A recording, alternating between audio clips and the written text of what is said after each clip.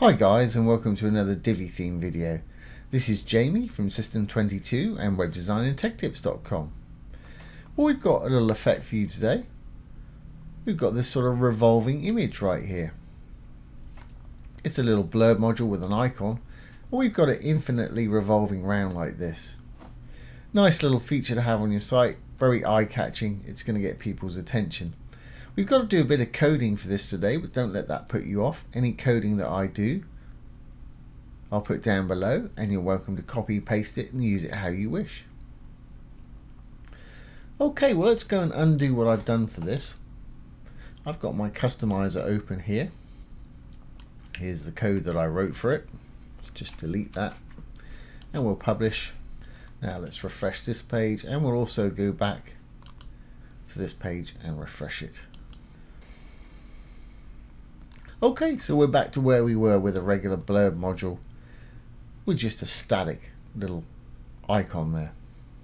Okay, let's enable the visual builder and we can roll down. There's our little blurb module. What I'm going to go do is go in there, dark tab for a module, green tab for a row, blue tab for a section. I'm going to go inside this module. We're going to give it a CSS class. It'll already have one, but we'll change it. That's the one I put in earlier. Let's just get rid of that. Here's where we start with the default. I'm going to call it IC spin for icon spin. Obviously, you call yours what you want. It wants to be unique and it wants to kind of mean something to you. So we've now given this a name, a CSS class, that we can target it with some CSS by. We can use that as a name to target it. So let's save this.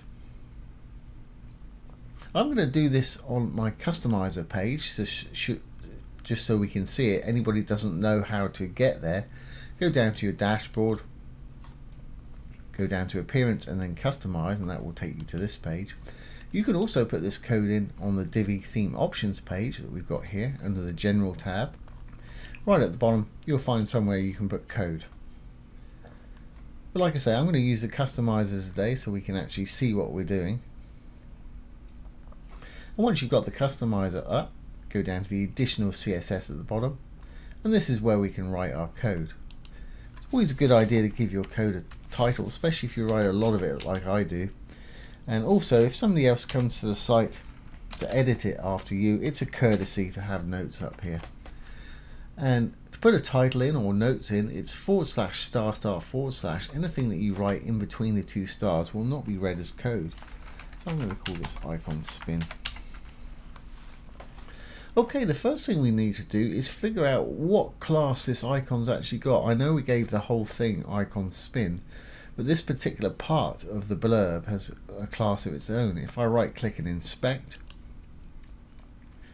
I'm using Google Chrome browser here. Most browsers have this nowadays. But if yours doesn't, Chrome is a free download. It's highlighted this. That'll probably work, but I think what we really want is the main blurb image right there. As you can see, there's no gaps either side.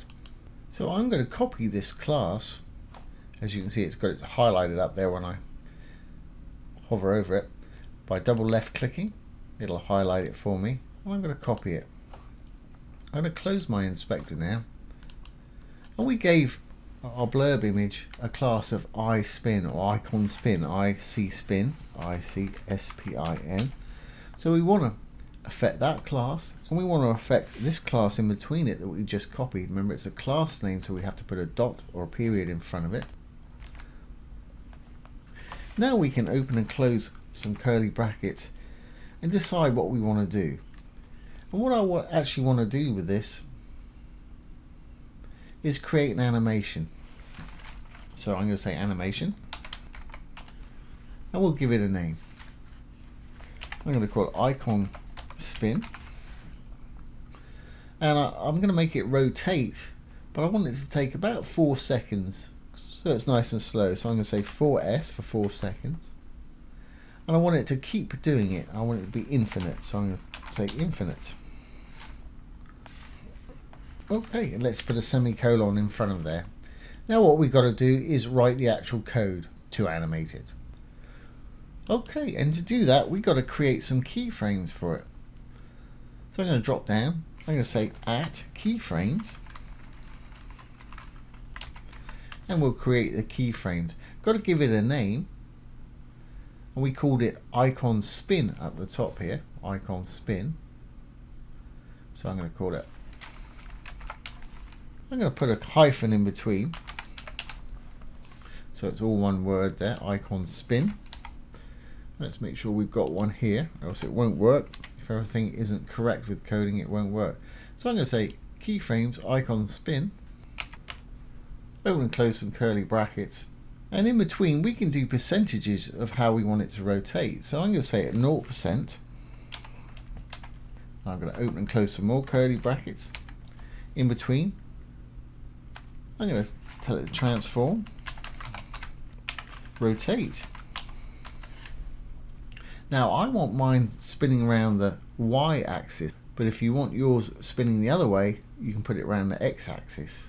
So I'm going to spend, say rotate Y, and the amount of degrees you want it to rotate in some round brackets. So let's open some round brackets, and I'm going to say zero degrees, because it wants to start off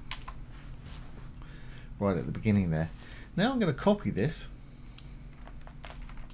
and you can do this as many or as few times as you like. The more times you do it, the smoother it's going to look. I'm going to say 25%. And this I'm going to say 90 degrees. And what we're going to do is actually roll around in stages. And you can see it's actually got a little turn already down here. It's already starting to twist.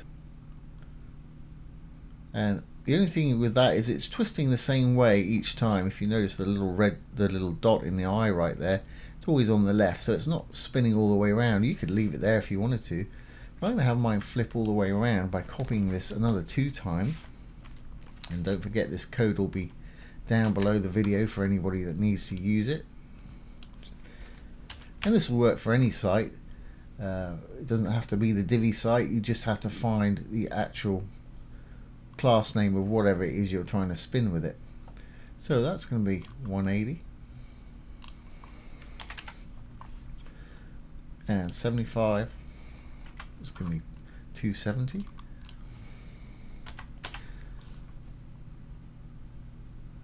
now it's actually spinning all the way around there. And it's flipping a bit at the end there because it's got to catch up. Let's do the 100% at 360 I'm just copying that again. Do 100%. We'll do this at 360.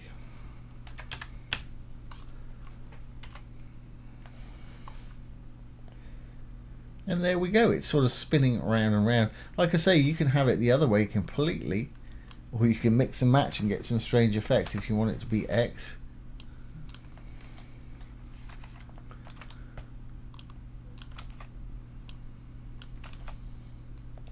I leave one Y in there, you'll see it flips the other way on the last one.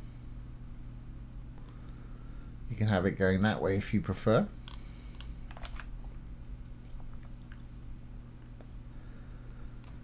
Let's put a Y in there. And you see it'll flip that way during that particular sequence of it. So you can play and get what you want done. Let's get all this all back to Y's again. I'm just going to undo. There we go. And we should be good to go. Obviously, if you want it to be quicker, speed it up by putting one second. If you want it to be slower, put a longer time up here.